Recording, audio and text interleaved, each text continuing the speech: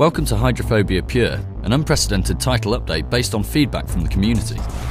What's more, Hydrophobia is now only 800 Microsoft points. We've eradicated the frustrations that some people found in navigating the environment. Waypoints now guide you to your objectives and are visible either in the game world or on the MAVI. And because the player doesn't get lost, we've reduced the helpful comments from Scoot. No! The in-game map has also been significantly improved. We've revised the camera system and tightened up the controls and animation, making general movement more precise and much more natural. The combat and cover systems have been completely overhauled.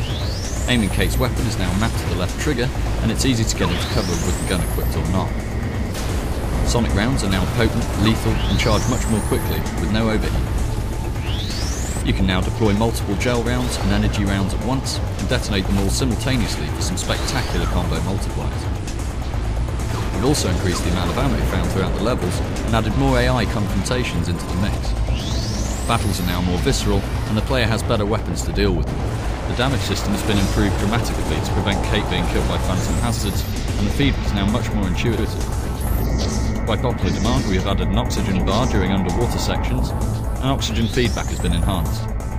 We've improved the climbing system to make it more fluid and realistic, Kate will now automatically grab onto the edge of ledges, and as you requested, jump has been remapped to the A button.